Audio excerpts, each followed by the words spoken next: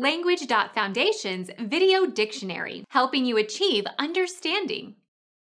English biographer and leading member of the Bloomsbury Group, 1880 to 1932. Giles Lytton Strachey, Lytton Strachey. Become our student and get access to effective and free educational materials. Subscribe to our channel to become a part of our growing community and to learn English effectively.